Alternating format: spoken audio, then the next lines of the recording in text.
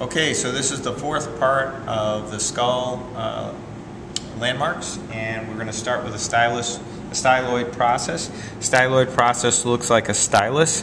It's part of the temporal bone, point of attachment for muscle, and for our purposes, it's important because it points right to a foramen, the stylomastoid foramen, right where that stick is going in, and that's between the mastoid process and the styloid process. So styloid mastoid, stylomastoid foramen is where the facial nerve exits from the skull. We have the superior concha. I already showed you the uh, middle concha. You can't see the superior concha in the skull, so you don't have to worry about it. Um, temporal process. Temporal process is named for the bone it touches. It's part of the zygomatic bone. So this is the temporal process of the zygomatic bone. This is the zygomatic process of the temporal bone. And the two things together form the zygomatic arch. And I think you can probably see the suture across here.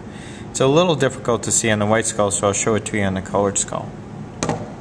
Okay, so here is the zygomatic bone. This is the temporal process of the zygomatic bone. This is the zygomatic process of the temporal bone and the two together form the zygomatic arch, sort of like a drawbridge. And you can see it's hollow underneath. Then we have the zygomatic arch. So this is the zygomatic arch. We have the zygomatic process of the temporal bone. That's this. And that's it.